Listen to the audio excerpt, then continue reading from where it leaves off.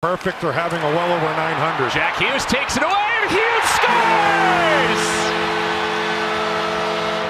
I think that's a good point for sure. Hughes trying to take it away from Kochetkov, spins in front, scores! Smart play by Jack Hughes initially to put that pressure on Kochetkov where you know, he fanned on that pass.